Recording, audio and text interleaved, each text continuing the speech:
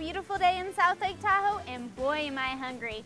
We're your hosts, Ashley and Drew, and today we are outside of Riva Grill. And Ashley, the Riva Grill is not only known for fine dining, but it's known for a lot of fun as well by means of the Wet Woody. Well, let's go inside and check it out.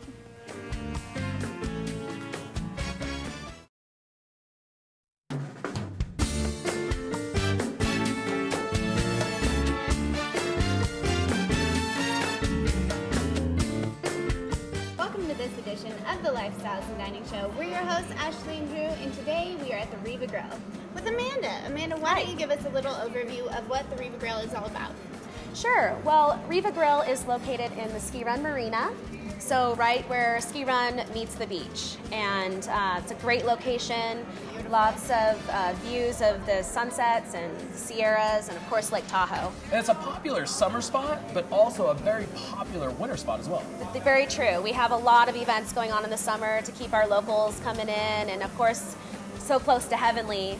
Um, we have a lot of the people coming off the mountain and enjoying happy hour and, and our specials for the for the night. So And you're talking about events. Ashley and I have attended a, a bunch of your events. You got the Topless Tuesdays, which wasn't totally what I thought it would be. Yeah. But um, well, do you want me to elaborate on yeah, that? Yeah, I'd like you to elaborate a little bit on that. It's it's some, kind of something that we came up with um, because in the summers we do Wet Woody Wednesdays. So we wanted to do something fun for the winters. So what we decided to do is serve our Wet Woodies topless, and that's what we instead of putting the float on top, we put it on the side, which is twice the float. So you're basically getting half price Wet Woodies for twi- twice the rum.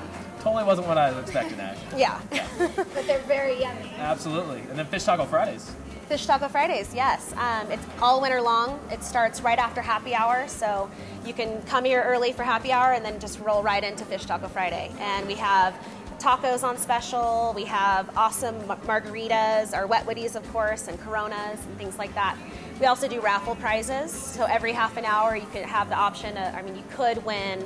Um, Heavenly ski passes, or That's you know, awesome. retail, really cool stuff. So, And then you guys got some great food items here. Not only Yes. about the tacos, it's a fun place to come for all your events, but also if you want to come here for fine dining, that's where you guys really are strong.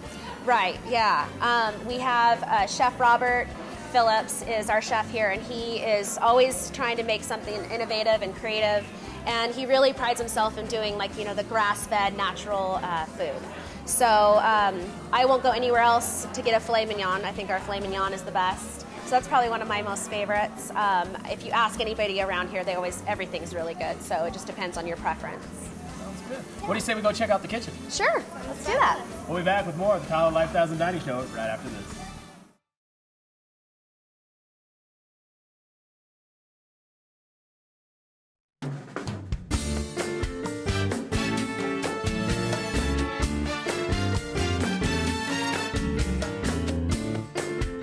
Welcome back to Tahoe Lifestyles and Dining. Ashley and I have made our way back to the kitchen. Here we found Shane, the sous chef, back here. Shane, this is where all the magic happens, huh? It is. This is our main kitchen. Uh, we have everything back here from seafood to steaks. Everything is cut in, in the restaurant by hand. Uh, only fresh seasonal ingredients, and it's uh, really where we showcase everything that's, that's on the menu that's a really, really nice plate of food. Today we're going to go through three things. Um, we are going to make a burger. This is our house ground tenderloin burger that we make from all the scraps uh, when we cut our own steaks. It's an eight ounce burger. It's fresh. It's never frozen. It's actually uh, local California beef, uh, certified Angus beef, and it's aged for 24 days. So uh, then we got some tuna here. Some tuna. This is some ahi tuna, super fresh. Uh, we get the whole loins, uh, cut them down into steaks. This is a, again an eight ounce portion, so a very healthy, generous portion of tuna that we're going to cook up nice and rare. So the first thing we'll do is start the burger, and uh, everything gets uh, salt and pepper. So this is just uh, kosher salt and fresh cracked black pepper that we grind ourselves to really, uh, really get a fresher flavor for it. Um, and then it just goes right onto the broiler over here. I like that you don't freeze it either. Yeah, You it's know, it's, nice never frozen. fresh. It's something that we grind every day, so it's it's super fresh. and it's basically a steak Yeah, it, it is something that is safe to eat, medium rare or rare, however you really want to eat it, and, and still be okay. It's not a, a processed meat by any means. now we got some tuna. So the tuna, again, salt and pepper. That's interesting the It is, uh, you know, it just really brings out its natural flavors. We don't want anything here to be bland. We're, we're all about big flavors and, and making everything taste as good as it can. After it gets salt and peppered, this is a pepita crust. And pepitas are actually dried pumpkin seeds that we grind up. Uh, has a little bit of breadcrumb in it also. That is Um, already looking yummy. and that is going to be kind of give it a nice texture. While those are heating up, we're going to fire or start to cook the ribs. So these ribs, you can see them. Uh, this is a St. Louis pork rib, and we've already. Now, these been cooked yet? They've been baked, right? Uh, so when we first get them, we, we clean them. We take any uh, uh, connective tissue off of the back of them. We season them overnight so the seasoning can really set onto them. The next day we smoke them for an hour, and then after that we braise them so we cook them in liquid for another five hours so they're really tender. We'll drop them into the fryer just for about a minute so that they can just kind of crisp up and give them a nice texture so that they're braised, so they're soft. We don't want them to fall apart or anything like that.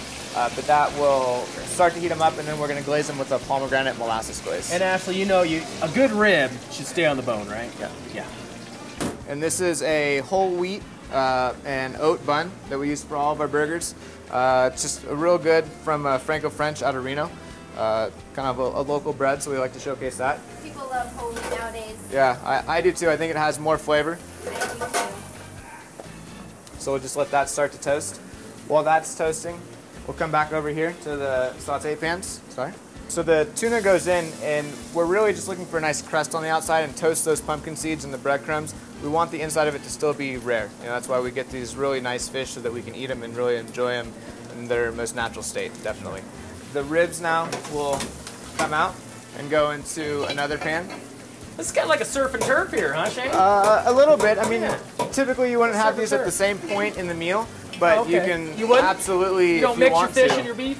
Sometimes. Boy, those look good, That's huh? what you're into. They do. Um, so Real as these are starting to cook in the pan, this is a sauce that we make from pomegranate juice, molasses, brown sugar, has a little bit of shallot and jalapeno infused into it to give it a little bit of spice. So you actually saute it in the. Yeah, so That's different. Usually they just slap it on top. yeah, this actually allows us to get more flavor onto it and let it glaze and, and reduce down a little bit. Uh, it's another step, but we definitely think that it's worth it in the end product. Gotcha. So we'll just continue cooking this, and uh, I'll tell you what, we'll take a short break. We'll be back with the Tahoe Lifestyle and Dining Show after these finish cooking, right after this.